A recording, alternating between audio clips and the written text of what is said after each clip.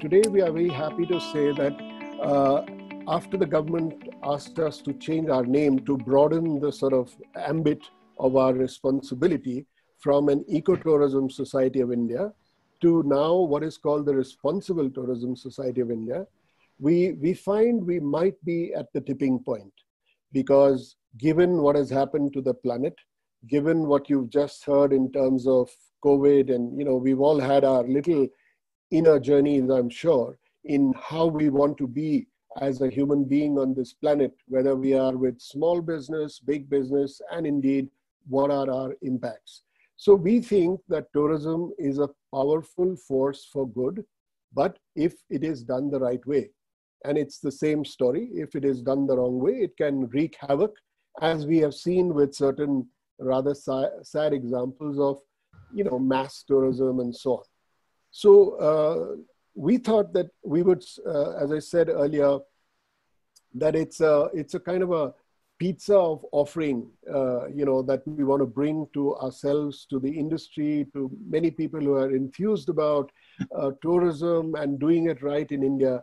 And this slice was more, mainly looking at certain operational issues that impact the well-being of not only the animals and the forests and so on and the communities, but also of the tourism experience. So what is it that we can do? What is it that we can look at some of the national parks around which have some good practices? And indeed, at the same time, there are some, uh, you know, I would say bizarrely bureaucratic procedures that we need to unshackle ourselves.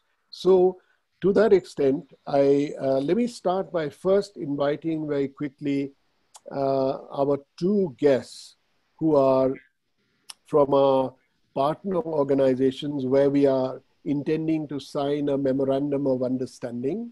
And the first one is uh, Vivek Saxena, who's a forest officer from the Haryana Cadre himself, and he heads the IUCN in India. And that is the World Conservation Union, and as most of you know, and it's a repository of some amazing knowledge and some amazing groundwork that they do I've already uh, been lucky to engage at two of their webinars. And what they are doing very sensibly is taking every different landscape and bringing a focus on it. So we, uh, you know, I know I engaged one with uh, ecotourism. There was another one on mountains.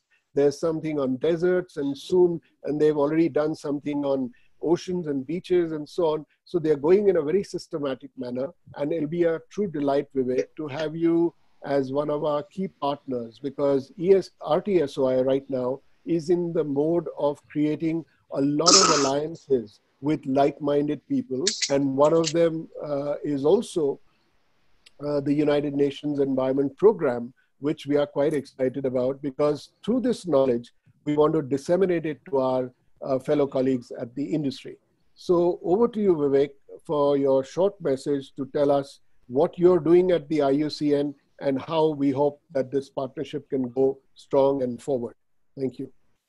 Uh, thank you, Mandip. And uh, just a minute, uh, Mr. Saxena. If uh, may, I request all panelists to uh, mute themselves because there's a lot of uh, background noise. Thank you. Uh, thank you, Mandip, and uh, good morning to everyone. So, IUCN uh, International Union for Conservation of Nature let me give a little bit background, a very brief one that, as you already know, uh, it was set up in 1948, one of the oldest organization and largest uh, conservation network globally. Uh, more than 1100 institutional members that include the governments and the civil society organizations and more than 15,000 commission members across the six IUCN commissions. So it's a unique in the sense that uh, in other conventions, the national governments are the members. Here, the governments are also members, civil society organizations are also members, and uh, institutions are also members. So it blends, or you can say, brings about the expertise or uh, interaction at various levels. And the main mission of the IUCN is uh, to influence, encourage, and assist society. Uh, India uh, is also the Ministry of Environment, Forest and Climate Change is a member of IUCN. And we have in India, we have more than uh, 40 institutional members and more than 800 commission members. A strong network. So IUCN in the recent past, uh, taking opportunity of the COVID time, because in normal times it was quite difficult to bring all the people together at the same time physically. But we could uh, organize one IUCN members forum meeting also in April, uh, where all the members participated and uh, there is a plan that how to strengthen this network uh, Ministry, Environment, Forest, Climate Change also showed quite keen interest that uh, this uh, network organization, the expertise of different people that should be taken advantage of. And IUCN is also having observer status with the United Nations General Assembly. And the reason behind this, uh, that other governments, when they speak in the United Nations, they speak of in respect of interest of the within their geographic boundaries. The voice of the environment which is common to all nations and does not, not have the geographic boundary, but they need to have, you can say, one agency which need to uh, share the common interest uh, of all the nations. So with these words, uh, uh I hope that IUCN will be able to partner uh, with the Responsible Tourism Organization, uh, Ecotourism Society of India, which Mandip, earlier it was Ecotourism Society of India. Now the word responsible itself indicates that during the post-COVID times, uh, though word has been added responsible, but we need to be now more and more responsible. And at the same time, when we talk of the tourists in national parks and the sanctuary, the number of other issues which will be deliberated during the today's webinar. But one thing is in the new normals, then how the tourists will go, what sort of a, uh, norms to be there, the carrying capacity so that we don't put extra pressure while we go to national parks and sanctuaries. So these will be the key uh, issues. And for this, uh, we IUCN is also organizing a, right now six episode webinar series, and the four already we have done. The first one was the general one that post COVID, what type of new challenges are there to sustain the tourism because tourism generates more than 4 crore livelihoods. And now with the COVID thing, uh, suddenly everything coming to the standstill. So you can imagine the linkages of these livelihood, the various linkages between the tour operators, the movement and all. So that has come to a standstill. But if we have to move further within these constraints, how to uh, redesign or how to reorientate our strategy to ensure sustainable livelihood and also sustainable tourism these are the new challenges, and that has to be. So we organize this series based on the landscape, different type of sectors. One web uh, series it was the mountain based. One was related to the advent, adventure tourism. One was related to the coastal areas. So different type of things, and uh, with these webinar things based on the, we had a very very good panelists during this webinar, and very some good suggestions have come out, and we will be compiling them and uh, presenting for the at appropriate level so that uh, so they can be integrated into the future ecotourism related the governance mechanism or at the policy level. So IUCN will be too much happy to partner with the Responsible Ecotourism Society of India and uh, taking these initiatives further.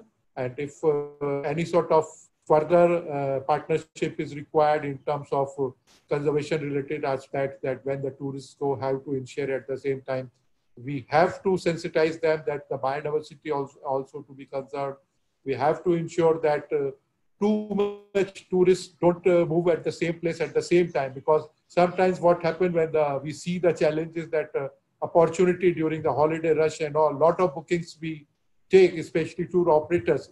At the same time, there is a challenge that within those national parks and the sanctuary, there is the issue of the time these type of pressures are also built up so everyone has a very, very important role. Uh, uh, Thank you. Yeah. Yeah. Thank you so much. Uh, yeah. Thanks, thanks, Vivek. That's very well put, and uh, we look forward to all all sort of working aspects together, specifically on the ecotourism policy, which is one of our new or uh, forthcoming webinars. Because as we all know, the Ministry of Environment and Forests uh, have actually uh, been sitting on a draft policy which is nearly coming to fruition and a lot of us have been in the response mode and so on but that we'll take on uh, separately now very quickly to uh, wonderful dr sp singh who heads the sustainability wing in the Amity University. And it's also a great delight. Uh, he's a former uh, PCCF, uh, Principal Chief Conservator of Forests, and has been adopted or, you know, uh, pulled in by the Amity University to actually head a very interesting uh, department, which also has been given the responsibility of sensitizing, like a refresher course for senior forest officials around the country. And in that, we as the uh, former Ecotourism Society and now RTSOI have been going and uh, giving lectures on the pluses and minuses of ecotourism and tourism and so on. And there's been a great engagement. And obviously, there are still lots of forest officers who feel that, uh, you know, uh, tourism is a bit of a pain in the neck. And there are others who feel that obviously tourism is a very powerful tool and we must use it to the benefit of conservation and community.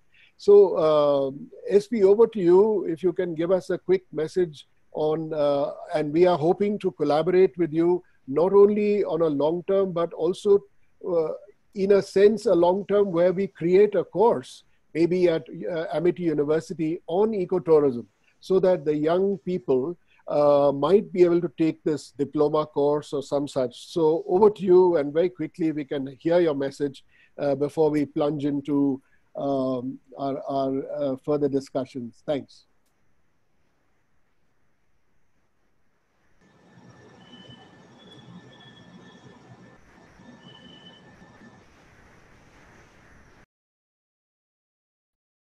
Uh, we can't hear you, SP. So,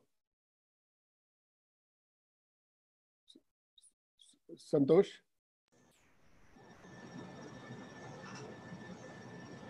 Ah. We, we have a small audio glitch on this. We, we can't hear you, Santosh. Okay. Um,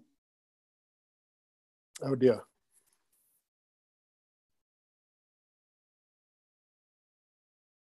Okay, Shobha, could we uh, get him back uh, after we fielded uh, Harbhajan Pabla because we can't get his audio. So maybe you can text him on the side and get him to be uh, tech ready and I'll uh, invite our next speaker before we break out into our panel discussions and hopefully we can get SP back to give his message. Yes, sir. But, just, uh, yes, yeah? Mandy, I'm just doing that. Yeah.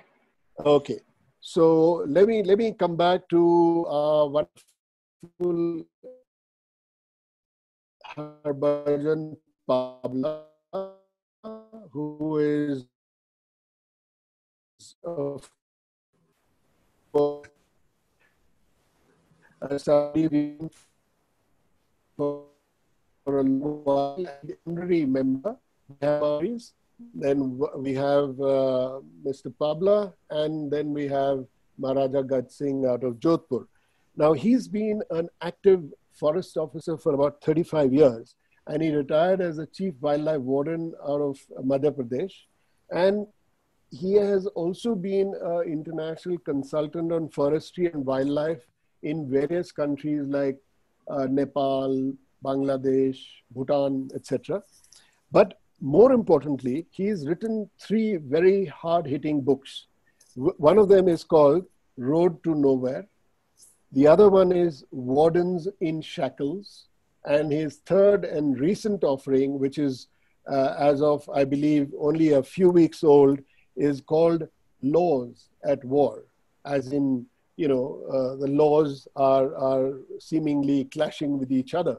So he's always been a great proponent of uh, how we should and can use tourism to the betterment of uh, conservation. And I know he speaks with a lot of passion and, uh, you know, uh, ground sort of experience that he's had. So I thought we'll ask him to set the tone in the next few minutes before we open it out to our wonderful field directors who've come uh, to join us in order to eradicate some of these ground level issues and how we can basically proceed to make tourism much better for uh, uh, you know in a kind of a ideal world which is a win-win scenario So over to you, Harbhajan. Give us your thoughts on uh, uh, what you've been writing, uh, you know, copiously in your books. and obviously this lockdown has been pretty good for you to churn out some wonderful stuff for us to ruminate on. So over to you. Mandy, thank you very much. And uh, good morning to all the old uh, and new friends, some known, some unknown. And it's great to be among uh, my old colleagues here. Uh, talking about the subject, uh, uh, it is quite close to my heart, and probably I'm a little infamous for having it too close to my heart. I hope I'm audible. Okay. Now, uh, without taking a lot of time, uh, let me rush through whatever little I want to say. I think we have come quite a long way since the 1980s when I active, uh, became active in the Forest Service. Uh, probably and, and, a long way to go as well. That was the time when uh, we got very few visitors to our parks. And still we continue to say, even at that time, that tourism is a distraction, it's, a, it's a, some kind of encumberment. And our job is core forestry, core conservation, and we have to spend time on this little distraction. Uh, at that time, we saw wildlife tourism as some kind of a favor we were doing to the society by letting people in. And uh, the main objective of letting people into parks used to be uh, awareness raising, sensitizing people, educating people about what uh, conservation is, what uh, conservation issues are, etc., etc. And uh, we did not have any idea of the economic power and the power of tourism to conserve nature, forest, and wildlife at that time. So at that time, it was, I must say that we were all passive about uh, conservation. But I think towards the end of the century, uh, by 2003, 4, 5, uh, I, a lot of foresters realized that uh, tourism can be a very powerful conservation tool. It can be helpful in conserving and doing what we wanted to do. And uh, I think the real uh, change in Madhya Pradesh uh, tourism uh, mindset came when the government uh, ordered that you can retain all your revenues from tourism for park management. Look, that happened somewhere in 19, I think five or six, but uh, it consolidated over time. And so after that, uh, we started increasing our tariff rates and slowly maybe then more awareness came, more people started coming and it became very significant contribution to our conservation budget. And uh, then we also became aware by that time that uh, societies, people living around the parks were critical to the survival of our parks. And those people are suffering because we have a park next door where they can, cannot go. They've been using those resources for a very long time, but we have now stopped them. And if conservation is successful, we have more animals, they suffer more because then we have more animal with they have to contend with and their crop losses will be more or the protection against uh, uh, crop losses will cost more. Sometimes they lose livestock, sometimes they lose even children. So uh, conservation uh, and tourism somehow had to be wedded together to make them successful. So over time, I have developed uh, several little phrases about uh, wildlife tourism. I call it uh, as the means and motive for conservation as well. Conservation uh, tourism is the means of conserving nature. At the same time, it is also the motive for conserving. Because if you don't uh, uh make conservation pay for itself, and the conservation doesn't earn its uh, its, its keep, society is not, Indian especially, the poorer countries are not that rich that they can spend sufficient amounts, sufficient resources on conserving wildlife and, and forests. So as uh, uh, because uh, the, the conservation, uh, the tourism can generate resources which can be plowed back into conservation as a very powerful tool for conservation. At the same time, we have uh, very, very big uh, areas which have been conserved primarily because those countries wanted tourism. They, the countries want, like even the Yellowstone National Park, Yosemite National Park, they were created primarily not for conservation. Conservation came as a byproduct uh, they were primarily uh, created by those governments because they wanted the peoples of those countries to be able to visit and enjoy uh, those areas.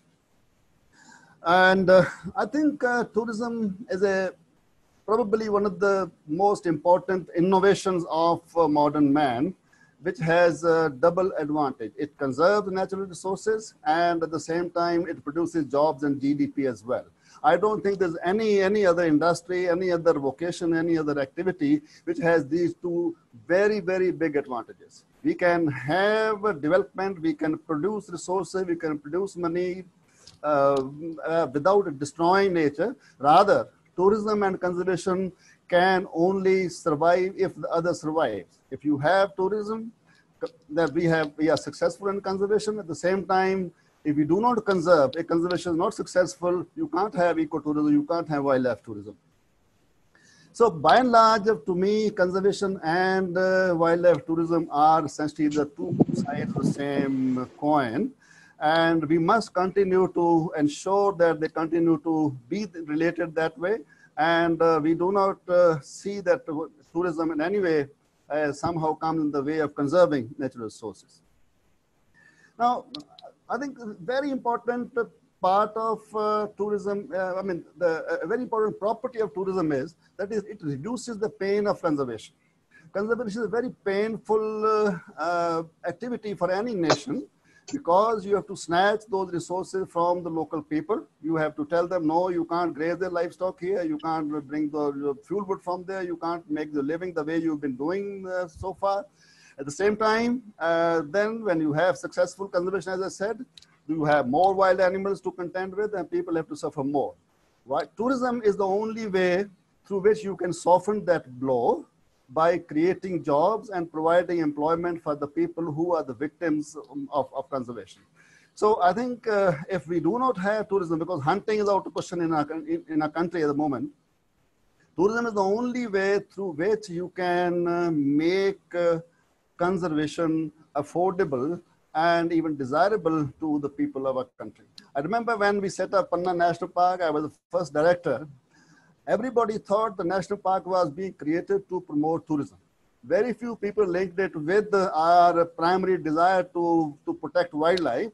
They thought uh, now Gora people will come in that area and uh, we'll, we'll have uh, white people moving around in our, in our area. That was probably one of the criticisms we, faced but they didn't link it with wildlife. They thought this place, this is a park, and park means a beautiful place, and we want people from other uh, countries or other cities to come into the area. Now, uh, but going uh, on and on, I think uh, we are in a very critical situation now. Wildlife tourism is useful. I think won't, I don't think we need to need to preach to the converted. Now with the uh, corona going on, although we were talking about post-COVID tourism, but I don't think we have post-COVID stage anywhere near so uh, as yet. We don't know how long it's going on. I think the contribution tourism can make uh, both to the revenues of the parks as well as jobs for the communities are going to be much more important than what they have been so far. I'm very sure the conservation budgets are going to go down drastically and park managers are have to cut down on their employment. They may be have to reduce their chokidars or daily wage staff or maybe there be probably no money for works. The only money government probably will be able to pay is, is for salaries. So if they do not generate uh, resources locally, generate revenues locally, I think conservation is going to suffer hugely. At the same time, lots of jobs for the people who have been living in the, in the around the parks. Probably they were working as migrant laborers in big cities. They have come back now. So they have to find employment somewhere. If we do not somehow employ them gainfully and tourism related activities with the, with the government or with the, or the, or the service industry, a lot of them might become criminals. They might become uh, poachers or uh, they start fell, sell, felling and selling trees or whatever. So I think now we are absolutely in a, in a, in a bind now. Even those of my friends who did not embrace tourism as a tool for conservation now, I think they have to look uh, at it very seriously because I think most states now have gone uh, the way Madhya Pradesh was uh, 10, 20 years ago, that most money generated by parks stays with the parks, if not fully, maybe to, to a large extent. So that money can become a very important uh, tool for conserving uh, the what what what is so so dear to, to all of us. But the problem I think always is what kind of tourism. Uh, although globally tourism has been accepted as a very powerful, very potent tool for conservation and community development, we in India are slightly hesitant, slightly reluctant about uh, embracing tourism. We have been getting government advisories for more than 10, 15 years that uh, tourism should be phased out, tourism should be reduced in protected areas, etc., etc. Those concerns are valid, but I think there are ways of uh, maximizing the benefits from tourism at the same time minimizing its impact. Rather than concentrating huge numbers of people into small areas, we can spread them thinly, widely. Rather than letting people or asking people to do to enjoy the entire park only in one way in the form of game drives, we can diversify uh, the activities. The people should be able to enjoy it so through several ways. They can walk, they can bike, they can camp, they can sit in watchtowers or hide or, or whatever. And wherever we have water bodies, I think there are uh, many more options.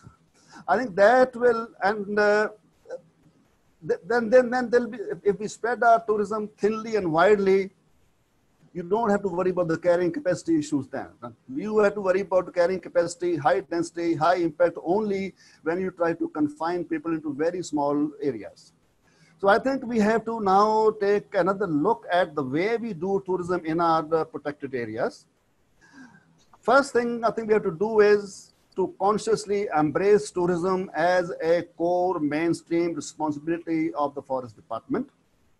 We have to, forest department has to be held accountable for ensuring how tourism is doing in these parks, not only in parks, in all our forest areas, this recreation should be one of the principal jobs, objectives of management of forests.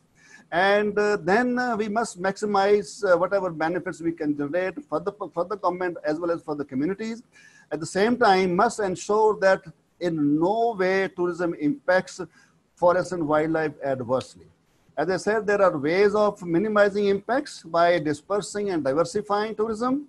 At the same time, there's ways of maximizing revenues by, again, diversifying as well as maximizing numbers. Now, if we open only very small area, you can accommodate only very small number of people. But if you have large areas and even the density is low, still you can have uh, a large number of uh, people coming and uh, generating whatever benefits we were looking at. So I think I would uh, stop here and wish you all the very best, and wonderful discussion. I look forward to an engaging discussion between the industry leaders as well as uh, my colleagues from the forest department. And I hope we end the day with uh, something which we can all uh, uh, be sure that going to, going to help in the days to come. Thank you very much. Wonderful. Mani, hmm. yeah, Mr. Yeah. SP Singh is Mr. SP Singh is there. Sorry. Okay, okay, wonderful. So thanks for that, uh, Dr. Pabla. I think that was brilliant, and I think they were just the important gems that you sort of you know set in the crown of wildlife tourism here. And I, I, I if i had my way i would actually make your books the prescribed books in schools and colleges and certainly will promote it at our society and in our travel industry because much of these are things that we really need to embrace. And not only that i think we'll also then request uh, the naysayers in the government to, to really be very actively uh, considered. I think you wrote, you raised a very important point about the poaching and the alternative sources of income that are drying up through tourism, and we can bring that back into discussion later. Let me go back Thank very you, quickly to uh, Santosh. If your uh, audio is good and yeah. running, uh, Santosh, would you like to yeah. say something quick and uh, before we move on to the panel, please? Yeah, yeah. Thank you, Mani. But I ho hope I am audible now. Yes, sir. Yeah, you're audible. Sir, if you can move away slightly from the camera, yeah, yeah. we can see you completely. Yes, thank you. Yeah, yeah. Uh, so, so let me uh, about the Amity School of Natural Resources. A Firm believer in ecotourism livelihood, and forest conservation. It is a triangle which will work now. We now we have also a message from our honorable Prime Minister that we should be Atmanirbhar. If we want to be Atmanirbhar in the management of our forest areas, especially protected areas, we have to believe in ecotourism. And I, ecotourism, it is a way, responsible tourism. How can you take the people and uh, whatever Dr. Pabla Saab said, that we have to open more area. Yes, of course. We should ourselves ourselves to the protected areas, but there are so many other biodiversity areas, different kind of flora and fauna, and each flora and fauna is amazing, amazing, amazing. And therefore, for the point of sustainability, we believe in the sustainability, we require uh, the ecotourism. And ecotourism with the help of the local people who are there. If you break this chain, the things will again reverse to the backside. The local people will get more resented.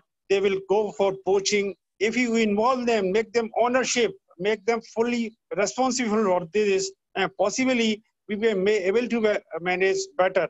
I always think positive. After this COVID, this is the right time. People are not rushing to the uh, uh, places. Now we can harmonize that what kind of tourism uh, is going to. When I was the field director in Assam, Manas, and uh, the places like Kaziranga, we always feel very bad that we are all the time busy with uh, tourism, uh, wildlife tourism, and we get, get, less chance. But now I have come on the other side. Now we really recognize that it is a very, very important part for the sustainability. Being a short time, I just want to stop myself. Thank you very much, Mandip. Thank you, uh, Santosh. Very well uh, put. And I am glad we are all on the same page. And we look forward to creating this special uh, sort of a diploma course or a degree course or whatever in the future so that we can get more uh, enthusiastic students, uh, you know, for ecotourism and waving the flag continuously. Okay, uh, people, I think we now need to break into our sort of discussion mode. And for that, I'm very quickly going to introduce all our panelists.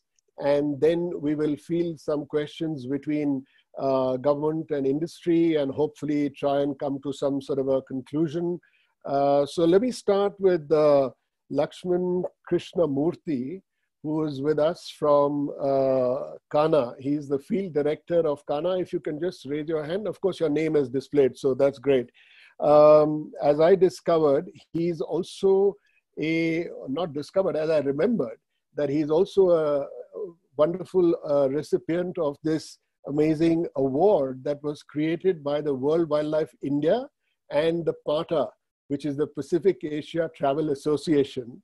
And it is called the Bagh Mitra Award.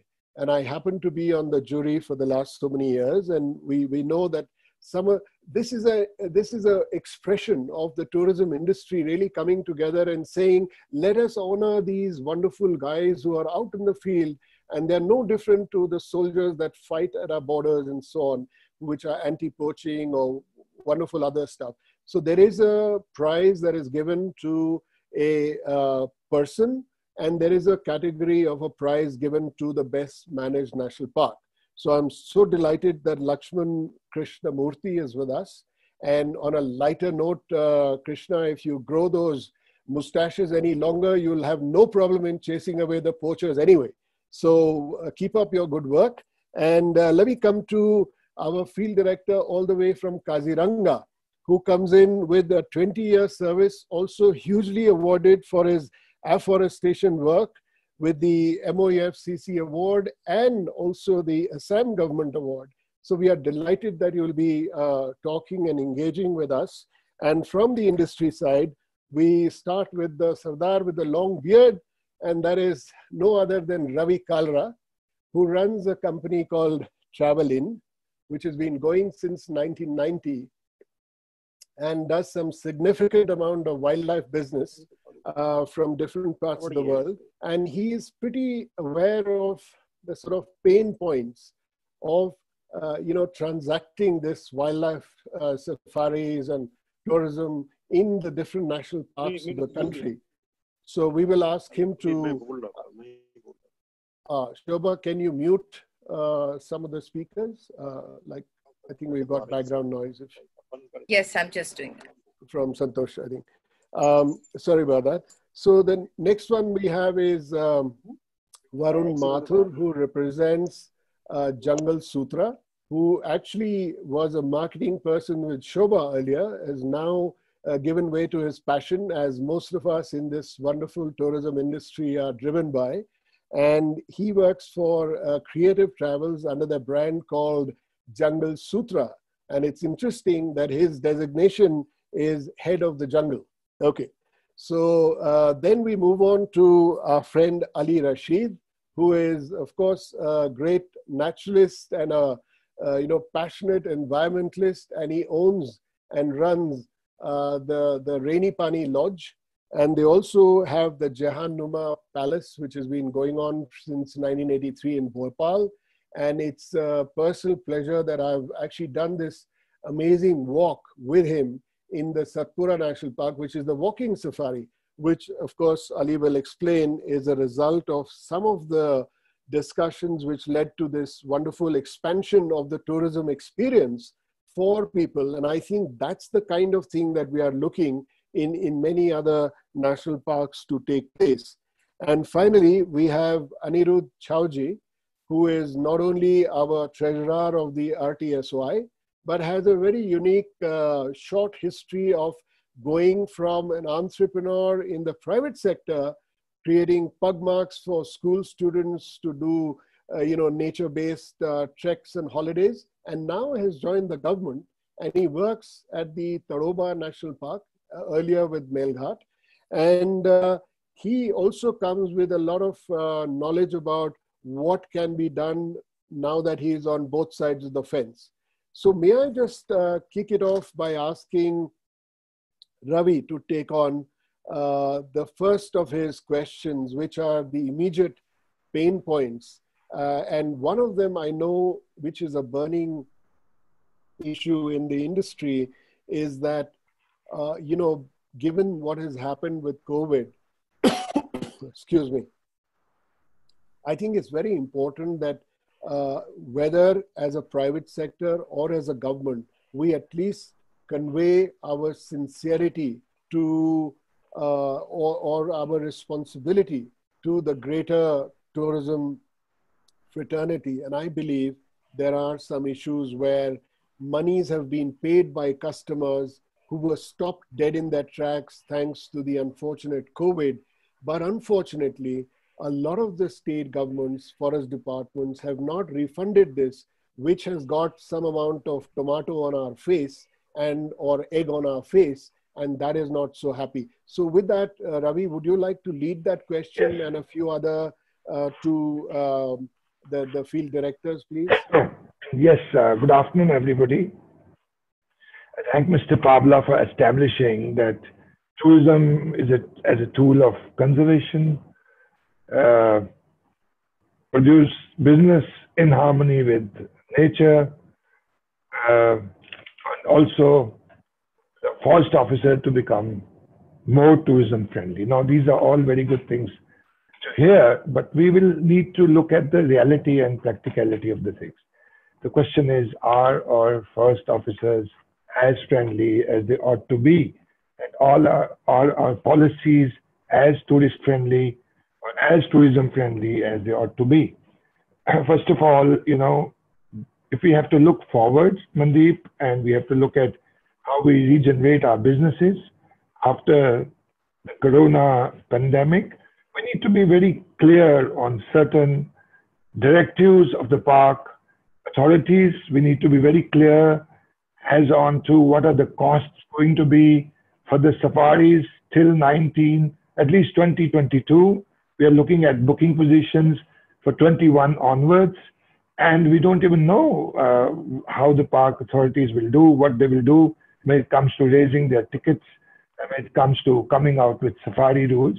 So all I'm saying is, since it's established that tourism and forest department has to go hand in hand, and we have to harmonize conservation with tourism, which are more dependent on each other. I would like to, you know, our park authorities, our forest departments to be very clear on entry costs for next three years on rules for the jeeps, safaris, and everything, so that when we go to our operators or our foreign markets, we are able to sell, uh, you know, not only for short term, we are able to sell for a long term. And we are able to tell them, okay, these are our prices valid till 2022. There's going to be no change. And this is what you're going to get. Rather than having a sudden surprise thrown at us, park closed for census without any pre-information, bookings already confirmed, park closed for Wednesdays, park will be closed to, you know, for this, this, this date, for this, this activity. What about the businesses which we already booked and taken a lot of pain to, to get into? So my question would be to all our dear field officers from Forest Department that are we in practically as tourism friendly as we claim to be? So Krishna, would you like to take that on first and then we can ask Siva for his comments? I'm afraid it looks like uh, we've not been able to get Manoj uh, from Ranthambore, but if he logs in, wonderful. Otherwise, would you like to field it uh, one by one, please, since you are the field directors?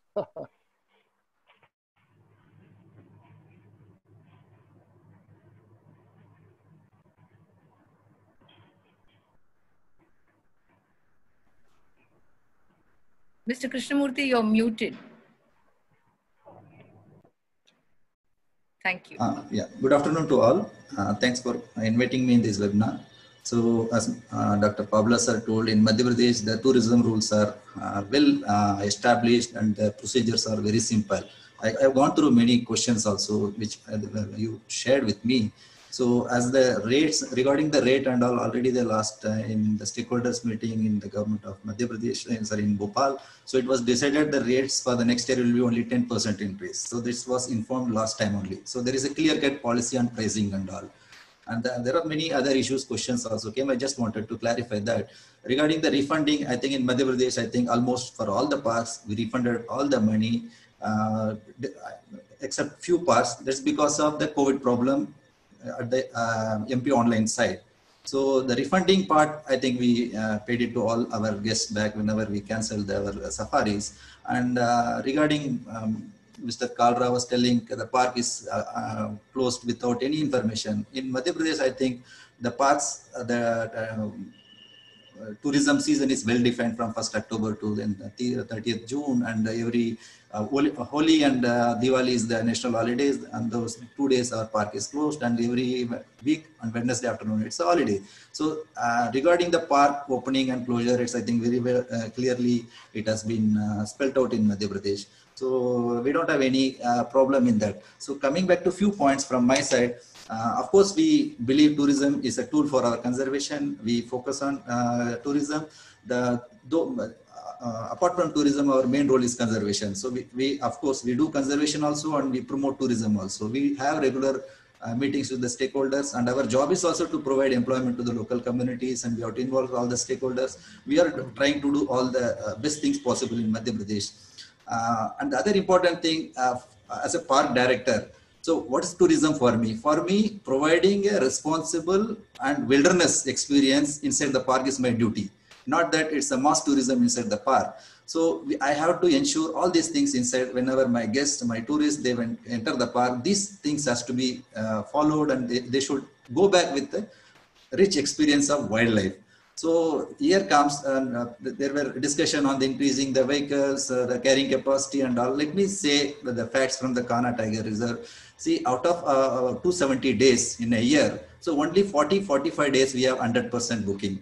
So we don't talk about the other things, uh, other thing, other days, the remaining say 230 days, how to utilize that 100% carrying capacity and there, there is a talk of diversifying the activities and all we do diversify all the activities but the the, uh, the tourism industry particularly they're not promoting the many activities like nature walks then camping and we have uh, night safaris and all people ask why you are not allowing night safaris we have night safari facilities every day we allow five vehicles there, hardly there are takers so there are so many things already in place. There are, there are, so many things already available in the park. So those things are not completely utilized to the maximum potential.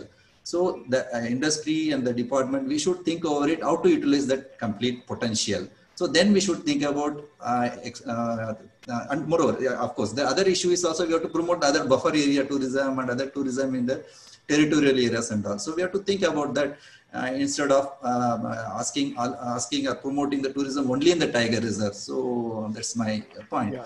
So then, uh, can I can I interject here? There are two points. Uh, we'd like to keep this uh, going as a discussion. So you raised the point about that the government has already made a decision of a 10% increase in prices, and that is likely to stay. I think what the industry and what I would also question here is that given the situation of COVID, given the fact that you're not going to have too many travelers coming out of the woodwork to go rushing into national parks because everybody is scared, would it not be a futuristic policy to actually reduce that 10%, slash it away, and in fact reduce another further 10%? You know, because this is a challenging time.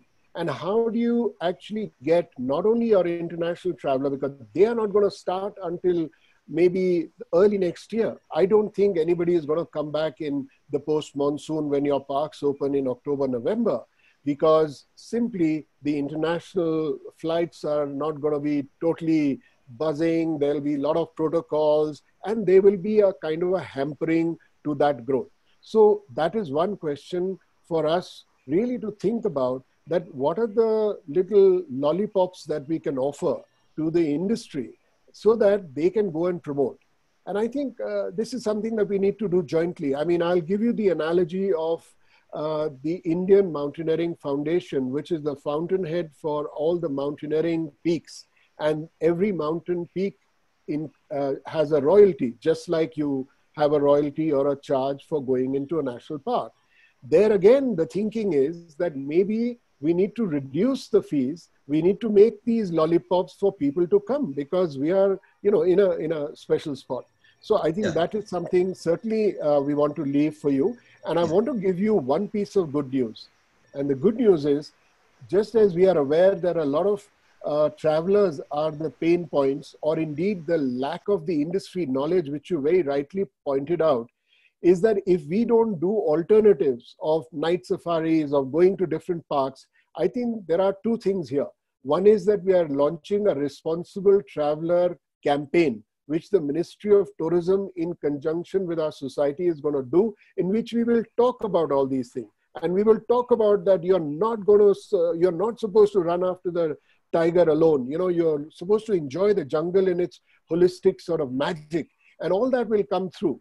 But may I also uh, say that at that point, um, perhaps we need to, in conjunction with some of our private lodges and the forest department, just go way, way beyond the current scenario of the quality of interpretation of the guides. Because, you know, like many of us, we've traveled around the world and we can see, and I can tell you, in my personal case, I was in the jungles of uh, the Amazon in Peru, and we were just arrested for about 45 minutes trying to study the butterfly ant you know, doing its little job. And I mean, you know, that's the kind of magic I know a lot of naturalists bring. So I thought I'll park that with you. But let me now come across to uh, Siva for his comments before, uh, you know, you, you come back with us with some uh, further ammo. Siva, over to you. Uh, Mandy, can I quickly butt in and add one more very strong uh, pain point, which uh, since we have different field directors with us, the pain point is synergy between the parks. I mean, Krishna uh, Murthy just mentioned that Madhya Pradesh has refunded the safari amount. What about Ranthambore? What about Rajasthan? They're not even talking about it. There's no synergy here. So if we give a very good park experience in, let's say, Madhya Pradesh, mm. the experience has to be duplicated in Kaziranga, in Ranthambore, so that we are on the on that same pledge. So, so I'm sorry I had to interject, but there's a pain point here. If if Madhya Pradesh is doing something which is right, why not uh, the same thing is being looked at or, or replicated by Ranthambore or let's say Kaziranga? Thank Absolutely. You. Wonderful, wonderful point. Well taken, I'm sure. And I'll feel that over to Siva. And basically, we need to evolve a strategy where, you know, some of these best practices can, of course, flow into all our uh, sort of, you know, national parks. That would be uh, you know, a great, great uh, sort of a target to have. So over to you, Siva, for your comments first. I think you're on mute. Sorry, you are on mute. He's not on mute, Mandy, unable Oh. to hear him. Uh, Oh, yes, so he has to um, probably log in again. Can't hear him. oh dear. Okay. So I know Okay, I'll put so- it on the chat. Uh, Okay, Okay. so i- i- if you tell him, then we can go quickly back to Krishna for his uh, supplementary comment on that. Uh, you need to be off mute, uh, Krishna.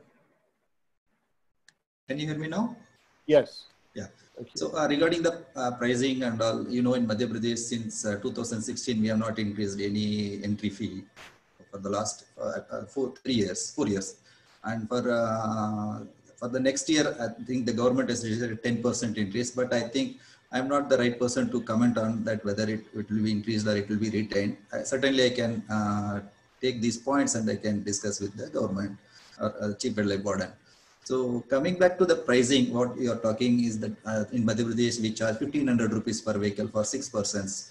So we talk about responsible tourism. In responsible tourism, I do believe my personal view is that we have to help the conservation and the local communities. In Madhya Pradesh, whatever we get the tourism receipts, 33% we share with the local communities who are uh, bearing the cost of the conservation. So by reducing this price, you are going to uh, deprive some resources to the local communities we are all talking about the supporting the local communities in increasing the employment opportunities.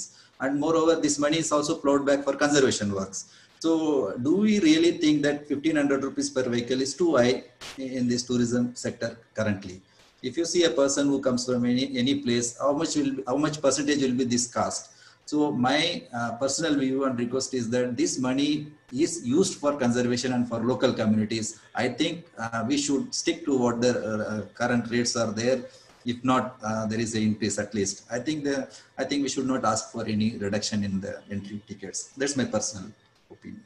Okay, I, I will ask my other colleagues to respond on that. I think you make a valid point. If it is that amount right now, maybe we should stick with it. Although there are many other ways that tourism can support. And, and one more thing, in Madhya Pradesh, we don't uh, we don't charge multiple charges also, like camera fee or other things. Only one uh, fee we take, and we don't take other uh, fees. So it's fair enough. The rate is I don't think it's very high when a person who comes to Kanha and all.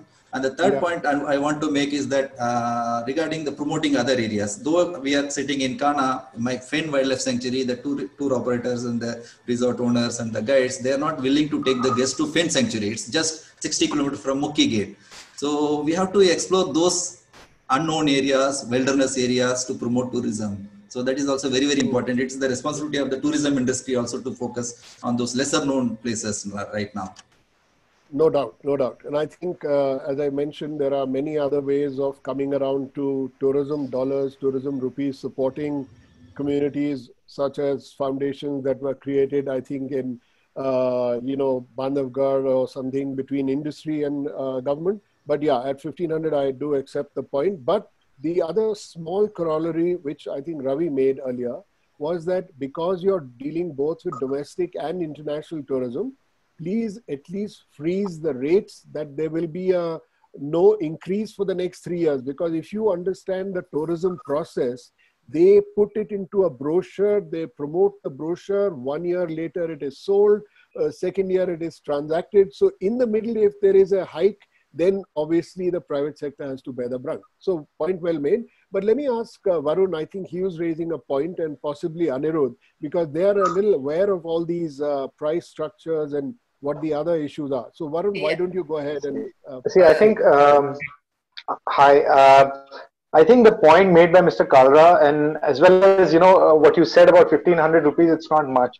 But I think what Mr. Kalra was trying to get at is, um, is a broader perspective of lack of consistency.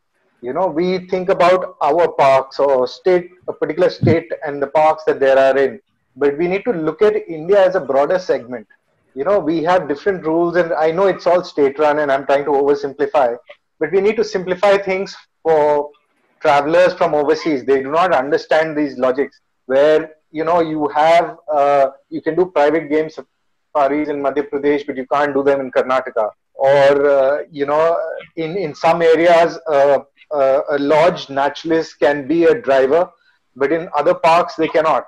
You know, this adds an additional person in the vehicle, so we are losing out on a seat. Uh, those are little little things that need to be considered you know, uh, within MP itself, we have some parks that follow the GPS system, some parks that don't. So if you're traveling with a guest, uh, you need to explain all of this. And I think it is a great thing that MP does not, it has one consolidated fee and you do not have camera fee because that can be further cumbersome because, you know, uh, you know, you're traveling to, let's say, Gujarat. You are paying, you know, X amount of money per camera, per safari we need to popularize the natural diversity of India. India needs to be seen as a wildlife destination in itself. It does not have to be known just for Taj Mahal or whatever. And we have so much to talk about, not just tigers. You know, when we travel overseas, we realize many people don't even realize how much there is in India, you know. Uh, and that is the point I think Mr. Kalra was trying to drive that on a broader perspective, it can look at, you know, have some uniformity. I, I know it's all state run, but have some uniformity within the tiger reserves, you know, where uh, some basics remain the same, you know, whereas if somebody wants to do an exclusive drive, you can do an exclusive drive.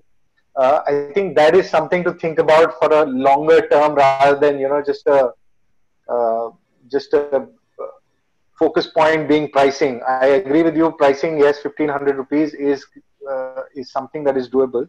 But uh, as Mandip pointed out, we are trying to look at a longer term where we freeze the time over maybe two or three years at least, uh, because we are selling in the future. We are not selling for somebody who's traveling next week or two two days, uh, two months down the line. We are tra- we are selling to somebody who's you know maybe a year or two years away from traveling to India.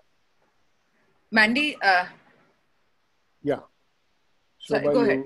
No, I, I, just wanted to say uh, Varun's to, uh, for Varun's question, Mr. Sh- uh, Shivakumar is there. I mean, he, yes, I just saw him coming yeah. back. So I hope your audio is good, Shiva. And over to you. Maybe you can feel that uh, question and what uh, Krishna talked about earlier. How easy do you think, as far as your park is concerned, first, and how do you think uh, is there a way that we can create a mechanism which is taking some of the best practices, sharing it together. You know, I don't know, even Harbhajan could come in later and say, can we create this kind of a component within the Amity course that is done for senior officers so they understand that we need to rationalize, uh, you know, tourism and tourism's kind of price structures to some degree and camera fees and all these little little things that have been going on for years you know and uh, uh, sorry, Harbhajan, did you want to say something now? No. Okay, so why don't we ask uh, Shiva to give his comment? Uh, Shiva, we can't, uh, Shiva, uh, Shiv Kumar sir, we can't hear you again. Oh dear. Okay. Now? I take Mr. Uh, um, Varun's question. Oh, okay.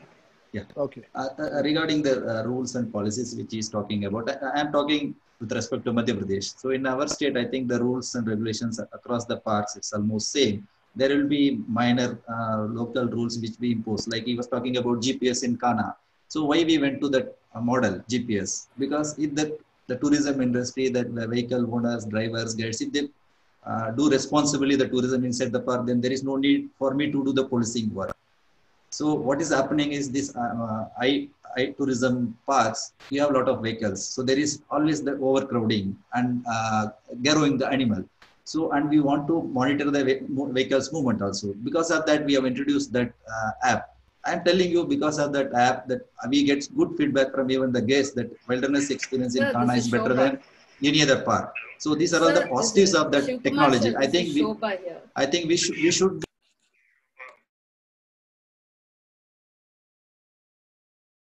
Oh my God! You, uh, Shobha, Shobha, we we put uh, Krishna on mute.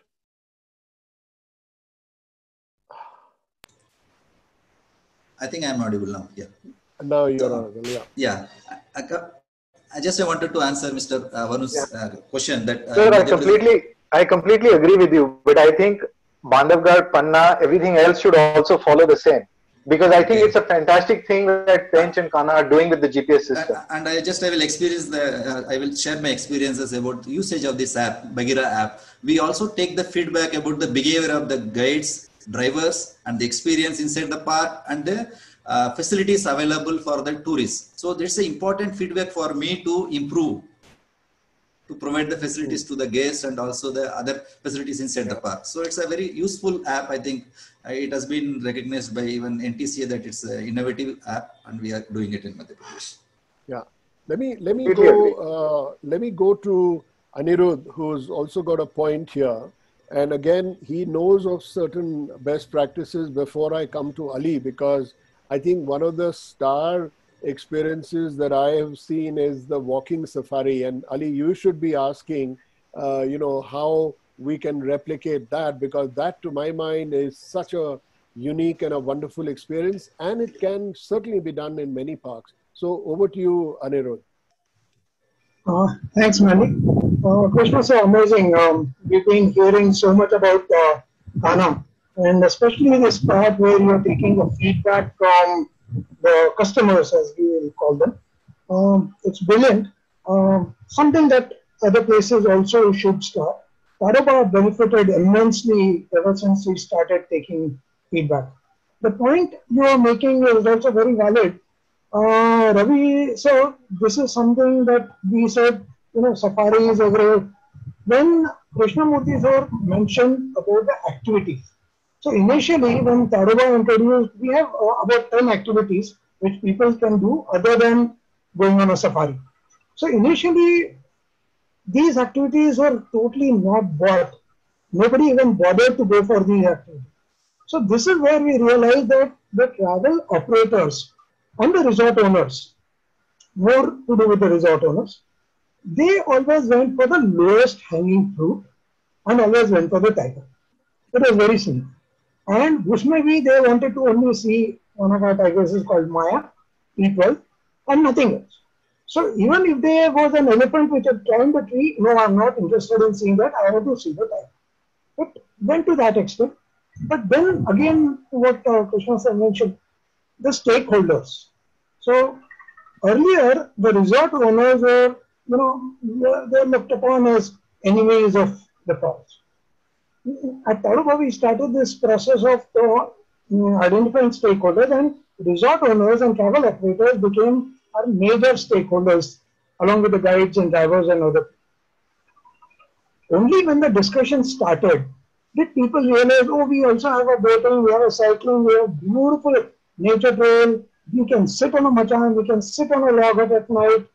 So involving the stakeholders became a major part uh, of the success of these activities. Mm, but yeah, without uh, people's involvement, I mean, we can run many activities where no one will buy them. Thanks. Okay, uh, that's that's very useful. So, uh, Ali- why don't you give your comments, and then I'm going to pose the question to Harbhajan because uh, we need to institutionalize this mechanism of the osmosis of good ideas between the park directors, obviously, right? So, why don't you give us your comments and your feedback in terms of Satpura? And I know now you are going to operate in Bori, which is a good example of actually popularizing a lesser known park. And I think lodge owners and tour operators absolutely, like Krishna said, have the responsibility of going and doing that extra bit. And that is one of the things that we want to promote through the RT, the Responsible Traveler campaign. And yes, uh, like uh, you mentioned, Krishna, we are also bringing out an app in which there will be a responsible traveler situation where you know what the guidelines are for the traveler, for the industry, and we will also have a mechanism of a feedback, which is that say somebody is littering in the uh, you know national park, for example, or doing something wrong. Just like the police have an app where you can take a photograph and it sends you the location there and then, you know, we'll instigate that. And at the same time, we want to encourage good actions, and we are having a we are thinking of a plan of what we would call our members the honorary ecotourism wardens. So you give a sense of responsibility to the people who are going in and, and to behave, now you know, responsibly. So Ali, over to you. Yeah, thanks, Mandy. Am I audible? Am I, yeah. Yeah, so just talking uh, quickly about the Satpura model, as Anirudh was also saying, like in Tadoba, they've started offering so many different activities. And uh, Satpura from the start, uh, in the last 10 years, actually, Dr. Pabla was also instrumental in designing that model. And Mr. Krishnamurthy has also been the field director there. So we do, uh, apart from the jeep safaris, we do obviously the walking, the canoeing. Mandy, you've experienced the camping. And we've actively promoted this as a park which is beyond the tigers. We also do night drives where we are seeing uh, animals that you don't see in the day. So partly what Mr. Krishnamurthy was saying, all these are part of the MP park rule. That's why we can do it in Satpura, you know, and each park is allowed camping in the buffer. But unfortunately, and it's good for us because we kind of claim it as an exclusive activity. But in other parks, people are not really utilizing uh, those facilities which are sort of given by the forest department. So that is, uh, you know, one thing, but uh, what Dr. Pabla was saying, I think by diversifying the activities, uh, some of the questions that I had is by diversifying activities, we can actually utilize more of the area of the park. I know we are governed, uh, uh you know, by NTCA guideline that doesn't allow more than 20%. But somehow as an industry, we need to actively engage in, uh, you know, uh, a discussion with NTCA to enable larger areas with lower impact. And there you can do some jeep drives, you can do cycling, you can do camping, walking, and actually have a larger area, uh, you know, under the park. So that was one of the questions which I wanted to ask also so the forest department people and, and the other panel, panelists who are here. Apart from that, uh, also uh, one thing which I know a lot of people have an issue with, not in Satpura that much, but in the other parks, is the roster system, which uh, uh, which I think Mandy, you also mentioned that guides are very important.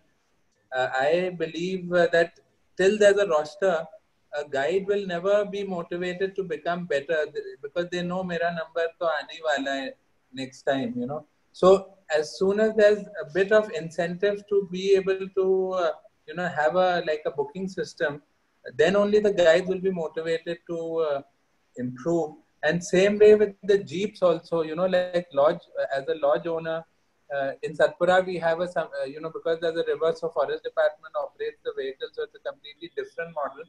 But in the other parks, uh, in MP and maybe other places also, but definitely in MP, there's a mandatory roster which has to be uh, followed. So if you're a say a high-end lodge, you cannot utilize your vehicle uh, and you have to take a vehicle from a running roster, which could be good, which could be bad, and there's no incentive because it's, it's uh, you know, a number is going to come next. So there is a waiting charge which you can pay, but you know that is not uh, driving, uh, you know, a, a fair uh, model. And lastly, the third thing is about the pricing, which we were discussing. I think the price is uh, uh, good uh, that you know 1500 at least in MP is not much. But I just had a question. Last year we had a meeting where you know a year ago there was a, a stakeholder meeting where the government decided to freeze these rates for I think five years. Uh, you know to keep the stability uh, going. But now I think it has changed to an increase. So I'm not for reducing because we know that it goes for conservation. Uh, but definitely in this uncertain time, if we can free that for at least a three to five year period, that will really help in promoting long term, just like Varun and Mr. Kalra uh, was saying. So with that, I'll just hope I can, you know, get some responses. Thanks, Ali. That was a valid point, and I think we take a take a, a strong point about this whole price structuring. My only subsidiary point to that is that I wish that the national parks would also come out with uh, some clear guidelines as far as the post-COVID rules. And in that, we also need to understand whether, just like we've done it in trekking and rafting and, you know, several disciplines, a very, very specific thing on the type of wildlife safari. So if it's a walking safari, what's the protocol? If it's a canoe safari, what's the protocol? And if it's a jeep safari, what's the protocol? And therefore, if it requires us to have two customers in a jeep because of COVID, I don't know, whatever is evolving, we need to create that. We need to freeze the price on it and then communicate it out. And obviously, we need to keep a little bit of an eye on the uh, on the price structures when COVID regulations hit.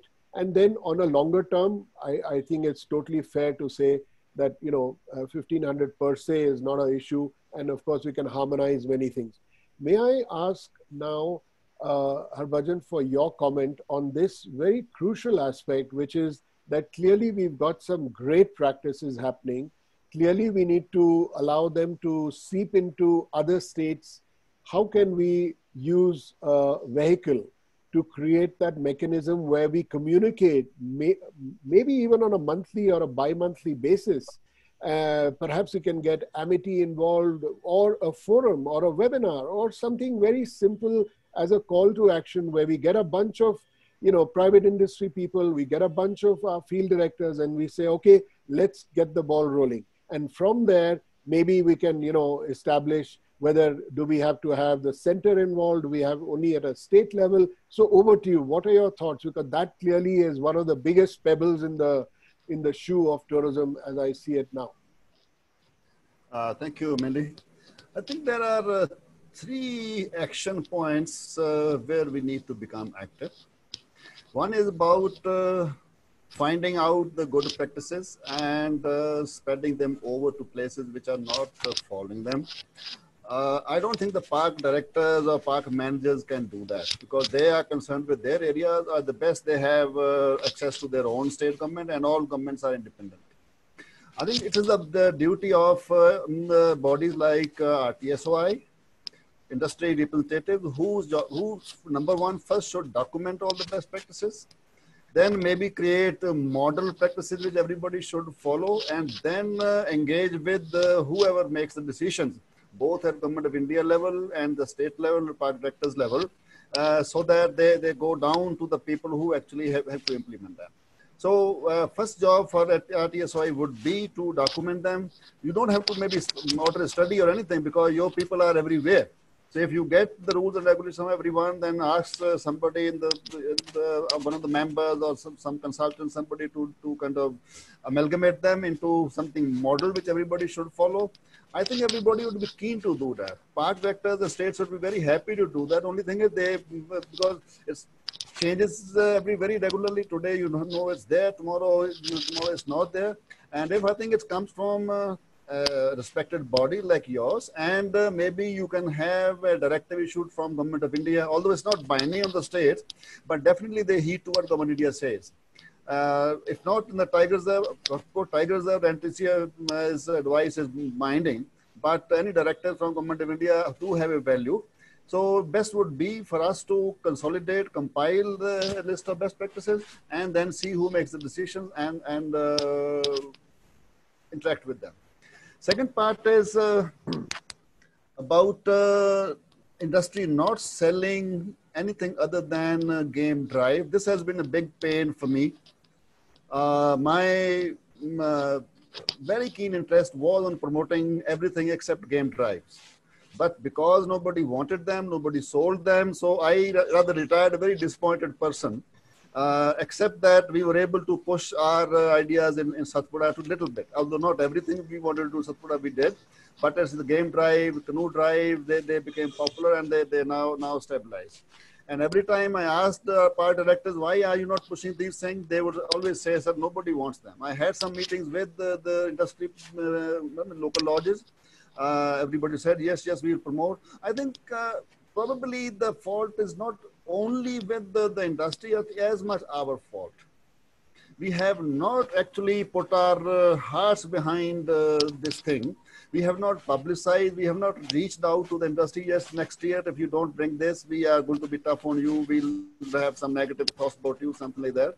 But I think if we send the message across, and uh, do create an opportunity for people to, to experience the park in different ways Uh, it may not happen in one year or two years, three years, but as we have done in Satpura, I think it will happen everywhere because there are people who have varied interests. And uh, this is a great way of uh, minimizing the impact while uh, maximizing the gains uh, from tourism. I think third action area, Mandy, would be to interact with the NTCA quickly because uh, to me, these three things uh, in the NTCA guidelines have been hurting. One is the concept of tourism zone. So I mean, we, we concentrate, we confine, we pile up all the impact into the best parts of, of the park, which we always wanted to protect actually because tourism was happening in the best parts uh, before NTCA came into being.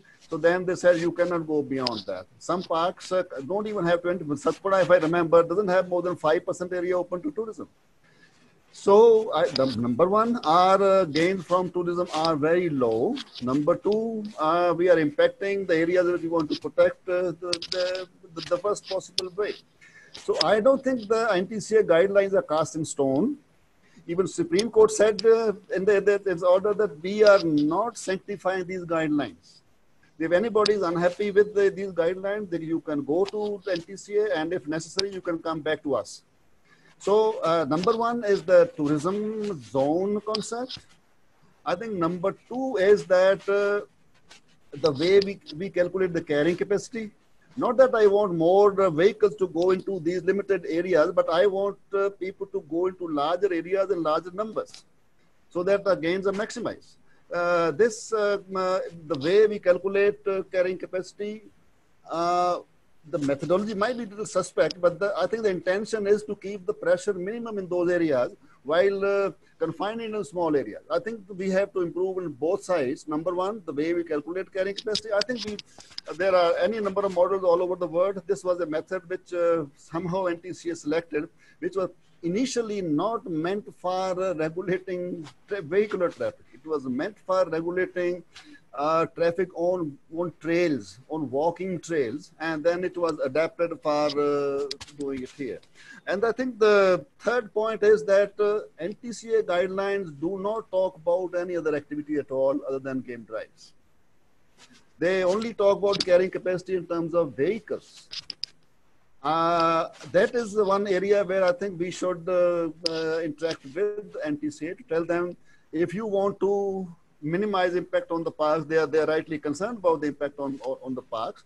So the way is to number one, disperse your uh, tourism as far as possible. Number two, change your the way you, you calculate carrying capacity. And thirdly, tell your park director, field directors, and, and, and the, the states to promote other modes of enjoying uh, parks. I don't think we can leave it to park directors and local lodge owners only I think we have a very uh, wonderful setup now in uh, RTSOI.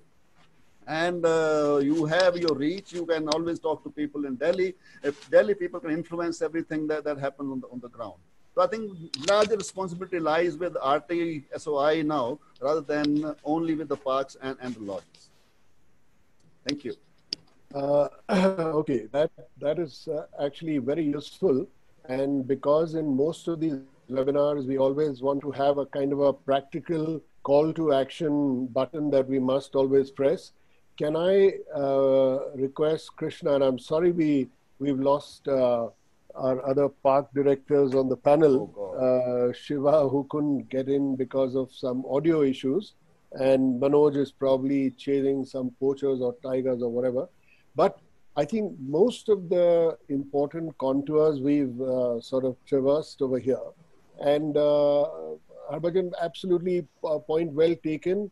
We've got a lot of work. I know that we've all been working together, yourself as one of the key leads uh, with, with our CII National Committee on Tourism, which is also driving, along with RTSOI and TOFT, uh, initiative to respond to the draft ecotourism guidelines of the Ministry of Environment and Forests. So policy. I think a lot of these areas will, uh, you know, the policy, yes. Uh, so hopefully the next uh, webinar, we get into some micro things. I can see a lot of questions now going up. Uh, so Shobha, do we have uh, some time before we close uh, to take on about 15, 10, 15 minutes of questions? Yes, we are all, we are actually uh, already two minutes uh, beyond our time, but I think we should quickly take about three, four questions, primarily addressing some of the key points that were spoken about here. Should should I uh, should I take yeah. it on, so or will you I, do it? Yeah, yeah, uh, yeah, you take them on. But can I just ask Krishna, since we've got you as our captive today, uh, can you help us by putting, if we can do an email loop, so that when we walk away from here, we will have some follow-through action and can we talk to you and my industry colleagues here? And we'll put, uh, you know, Harbhajan in a mail and all of us to just get the ball rolling. Let's just quickly put down a set of best practices, a set of pain points that you think, you know, the travel industry or the tour operators or uh, travelers should be doing.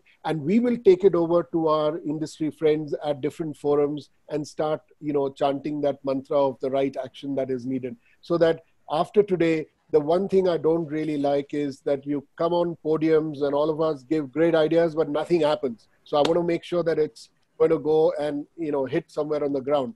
So over to you, Shobha. Let's get a few questions that are crucial, and then we can field it across to our panel. Absolutely. Uh, so we have a, a, question from our ambassador, uh, Dr. Latika Nand.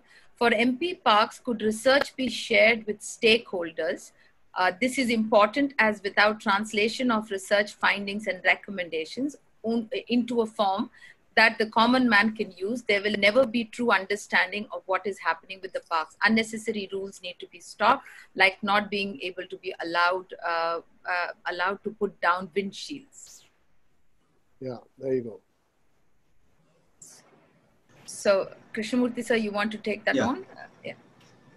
Yeah, I, uh, I think whatever the research uh, has been done in the different parts, so once the research uh, paper is finalized or when they submit the report, it's available in our uh, library, particularly in Kanha.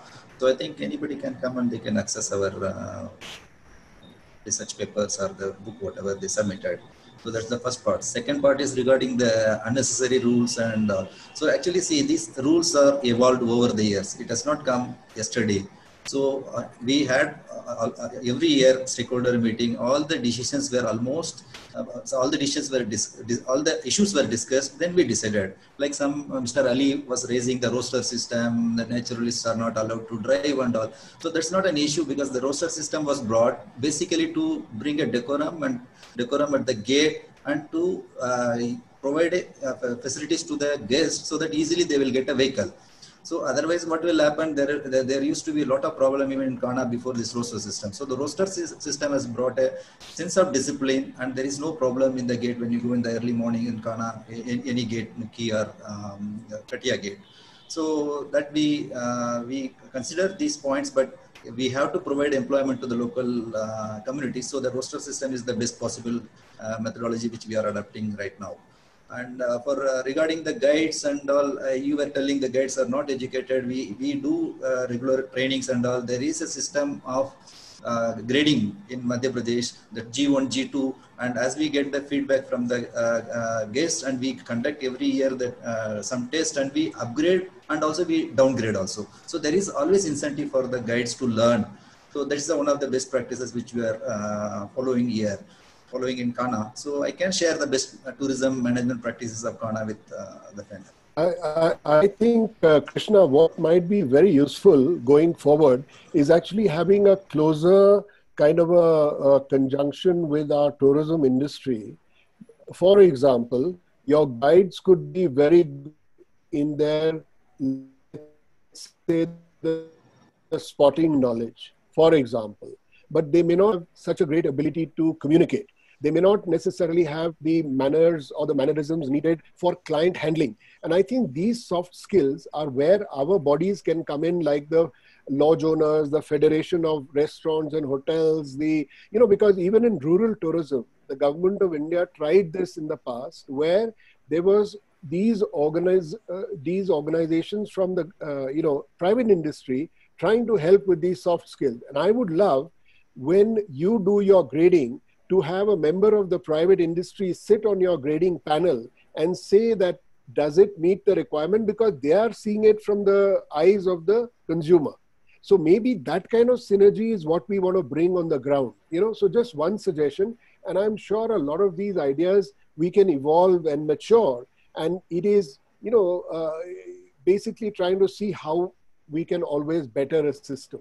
So, uh, So my, given pro- my, propo- uh, my proposal for this is let's see every year we do training to our guides and all. Why don't why don't somebody who's interested who want to give some inputs to my guides about the handling the guest and their behavior or some knowledge, so they can come and they can give uh, maybe one or two sessions they can handle. We welcome anyone who wants to there you contribute That's one, the one, skills.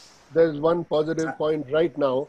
And I will put it to my industry colleagues, it's- the lodge owners, that we must have a system where we can give these guest lectures on, on you know, absolutely all this kind of uh, and, and, and even for grading also we not only take the department we uh, call the local naturalist and the local pe- local uh, resort owners to decide the grading and also we involve them also it's not that only department Kanha is doing it Yes, Cool. thank you, Mr. Krishnamurti. Okay. Varun has a question. Uh, Go ahead. It's, re- it's related to you know what you've just uh, been talking about. Uh, I I think there is uh, a sort of a feedback system on the GPS app that you have, but uh, the challenge that I have seen is not many guides would ask us as guests to actually give that feedback. And that is something, if that can be monitored better, you will have instant feedback on your system in the way that you want to collect it.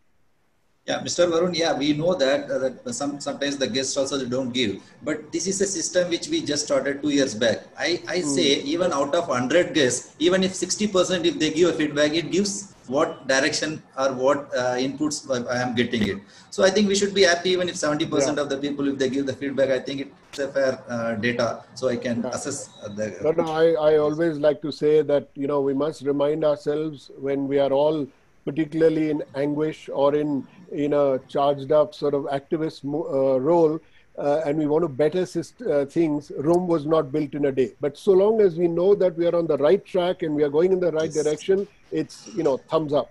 So, um, uh, Shobha, do we have any other questions? Yeah, or- there are several questions. I'd like to take a couple of them because they, Yeah. they are directly um in line with what is being discussed. Uh, Mm-hmm. One is from Archana Singh, who says, as per the Indian Wildlife Act 1980, tourism is still considered as an anti-forestry activity, which in other terms means uh, it is harmful to the forest. Whereas globally, we have seen many cases like gorilla tourism, etc., uh, has played a pivotal role in conservation. Why do you think India still doesn't consider ecotourism as conservation tool to safeguard our forest and wildlife residing in them? So, So I should I should ask uh, Mr. Har, Harbhajan to come in because I know we have some good news lurking on the side. So why don't you reveal it, Harbhajan? Uh, I don't know which good news you talking about, Mandy, but I don't think her impression is correct. Yeah.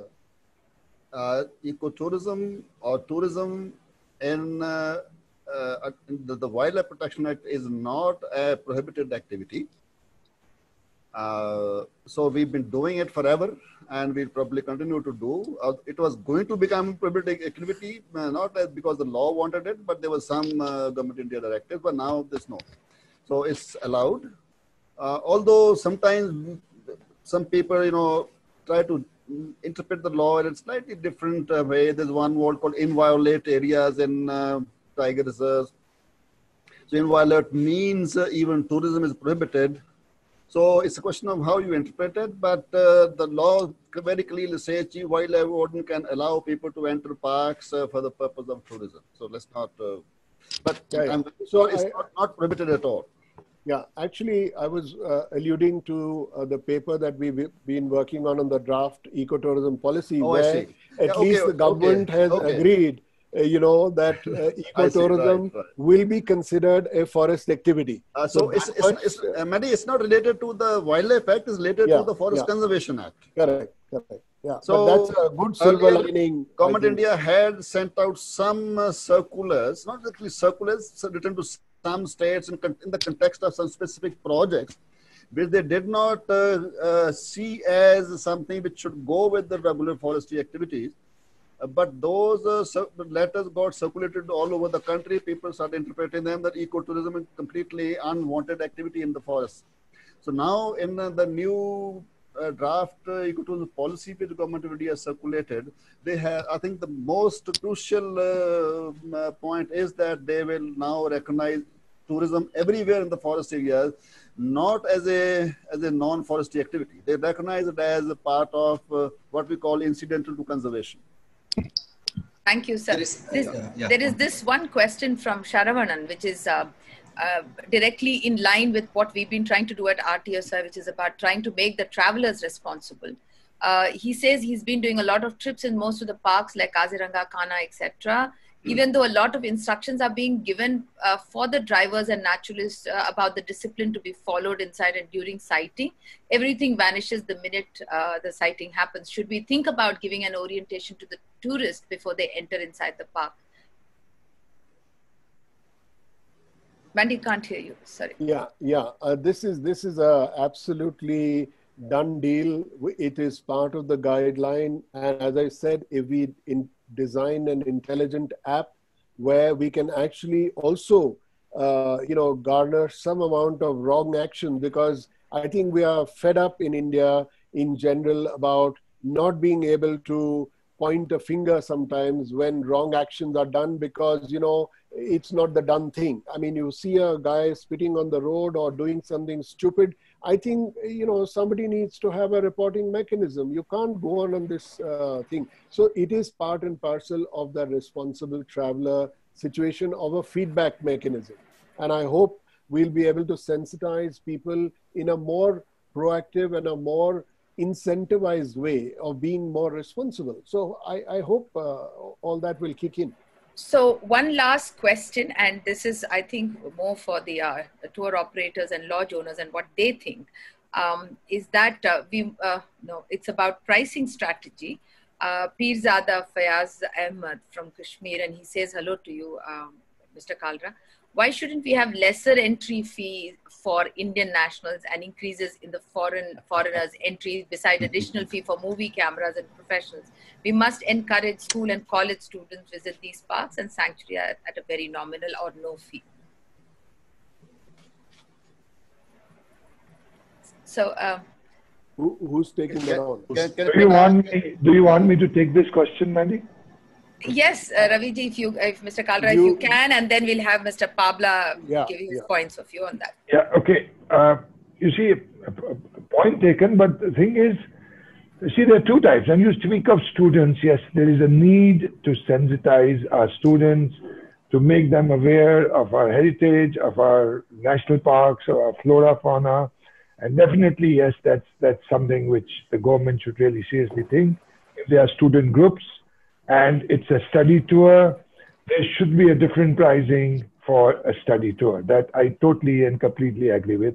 But when it comes to a difference between a foreign tourist and a domestic tourist, that probably is a is an area where I would not not rather go because the most of the damage to the national parks is being done by the domestic tourism who takes their chips packet with them, who are eating and spitting and doing all sorts of damages to the park and bringing a sort of a, you know, so there, there, if you want to stop the mass tourism into the parks, then you have to make it worth its while.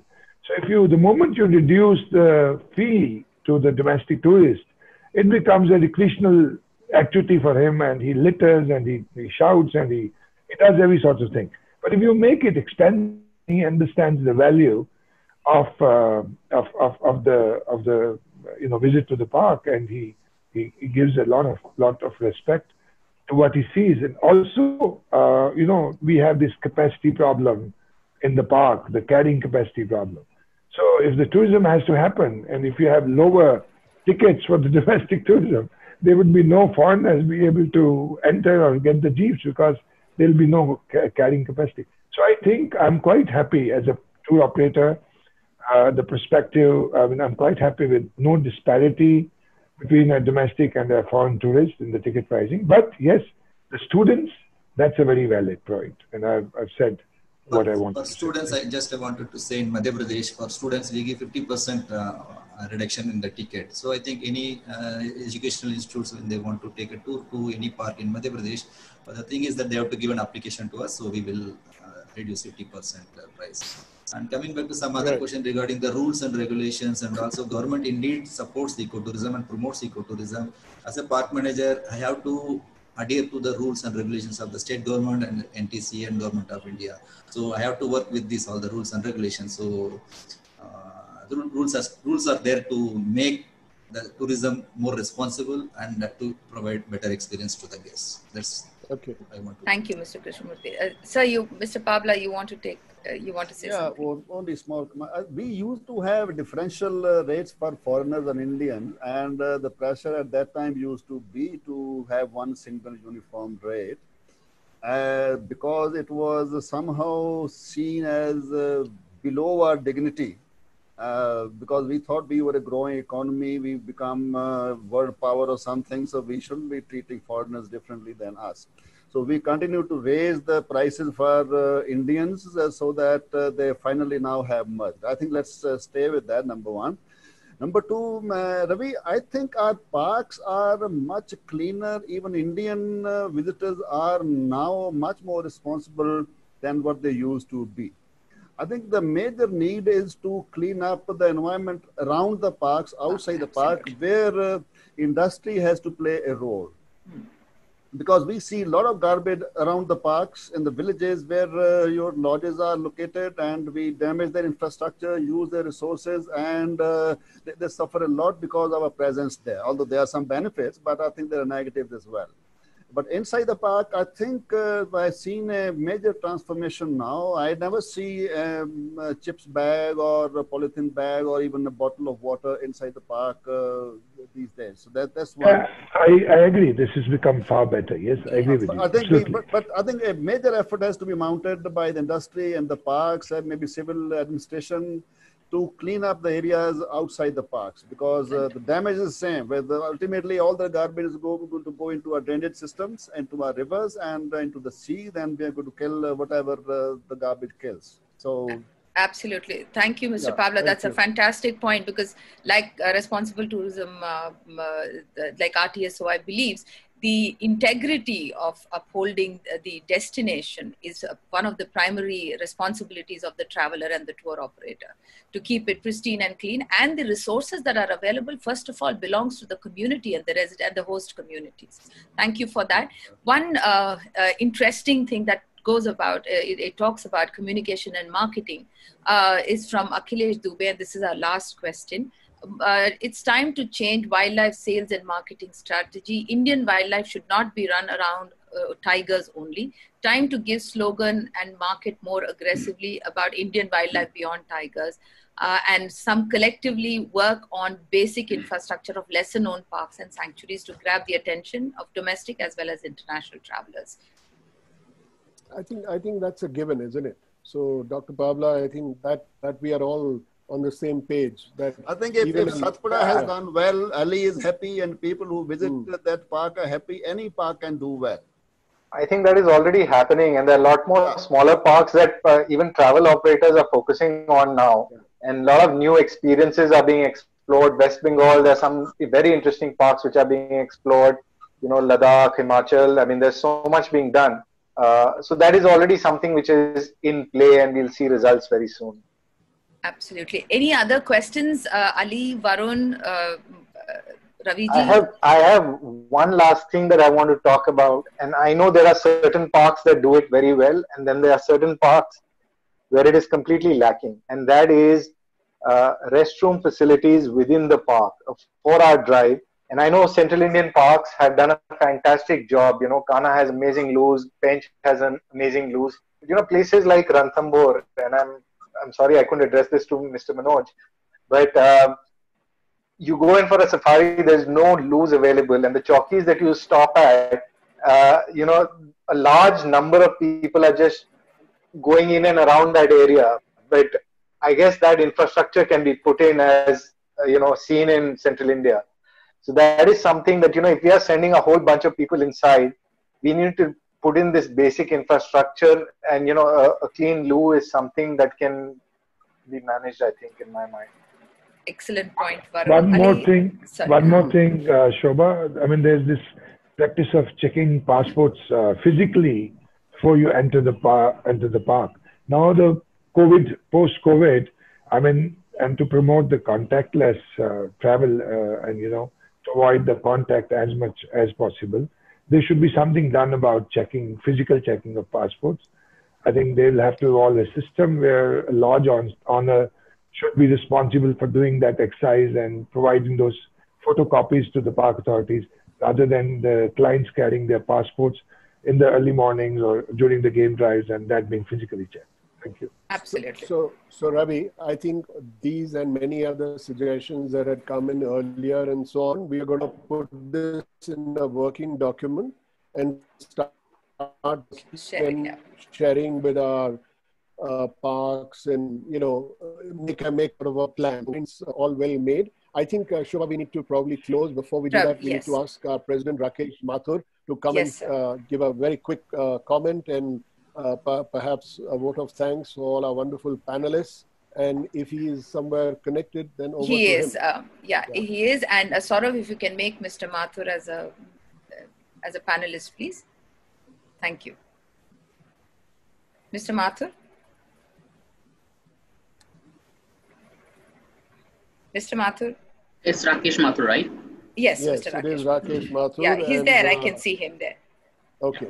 Yeah, he's there. I mean, RM.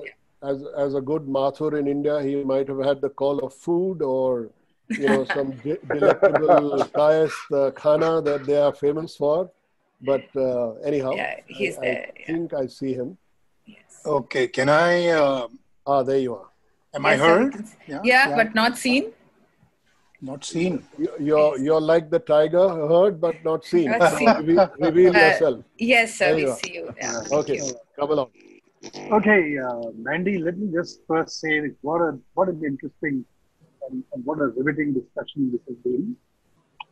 And uh, even before Mr. Pabla came back, Dr. Pabla came back the second time, I had already penned my thought that RTSOI is going to form some kind of a committee to, to formulate a review mechanism uh, for all these all these various discrepancies that have been brought to our attention, whether it is charging of fees, whether it is, you know, different policies, issues that Varun spoke about. And I was going to say, I was going to request Dr. Pabla to chair this committee. So, uh, Dr. Pabla, I think uh, uh, this is one point I'm going to going to uh, ask Mandy to take you upon, uh, because I think your guidance and your your whole thought process on this whole issue is so interesting that as, as an RTSOI team and you are one of our honorary members and mentors. So uh, I'm going to request you to take that on. Uh, I had flagged a few issues. Um, I think one of the key things that comes out here is that it is the responsibility of the tourism fraternity to sell things other than tiger. And I think we have a great role to play in there and also, um, you know, for example, if you look at places like Bhitarkanika, you know, the Chambal Wildlife Sanctuary, the Eagle Nest, uh, the Snake Park in Bangalore, the Crocodile Park in uh, in uh, Chennai. I mean, these these products, these these parks are not marketed the way they should be. And just to run after tigers and wildlife parks is, I think we'll have to move away from that. One or two uh, areas of concern, uh, which I may perhaps be wrong, but it had been come, it had come to my attention that some constructions were coming up in buffer zone. Now, honestly speaking, I, I do not have uh, uh, actual data, but it's something that had come to me. And I thought if it is true, then we need to really, really do something about it very fast. The second thing that I, I want to raise a red flag on is we need to have construction guidelines around parks. Uh, I think a lot of our uh, small towns and villages around designated parks are very quickly becoming, you know, uh, high construction zones with multi-stories coming up. I think that needs to be curtailed. The third thing that I needed to red flag is the issue, the fact that a lot of these destinations are being used for incentive meetings and conferences and weddings which is all right. I think uh, if the environment is good, there is no harm in getting married there. There is no harm in having a conference there. But the, but the thing to do is to prevent complete noise pollution. And um, I think that is an area which needs, which to my mind needs to be looked at. Having said this, uh, I'm not an expert in this, but uh, as, a, as, a, citizen, as a concerned citizen, I think these are some of the points. With this, I'd like to thank Mandy for putting together this fabulous webinar. I'd like to thank Shobha for, for managing it so well. And incidentally, I'd like to thank the entire audience for, for participating. And ladies and gentlemen, this is not the first, this is not the second webinar. We are now coming out with a series of webinars on different different topics and subjects, uh, spearheaded by our very own uh, Shobha Mohan. So thank you very much, and over to you, Shobha. Yeah, thank you. It's just to quickly uh, sum up and round this to say it was very, very interesting discussion. And of course, there are a lot of other things to be dis- a lot of many more things to be discussed. But the good news is uh, there are going to be a lot more sessions. Uh, stay tuned in we uh, RTSOI is ready for membership. You can write to Anjuna Dheer, um, who's uh, here, and it would be a pleasure to uh, host. Any questions that we've left unanswered will be uh, answered uh, by emails, and we will send them all back to you. Thank you so much. Uh, thank you, Mr. Pabla. Thank you, Mr. Krishnamurthy. It was a pleasure having you, and thank you, Raviji. Thank you, thank you um, Ali and Barun. Thank you for your time on a Sunday morning. Thank you so much.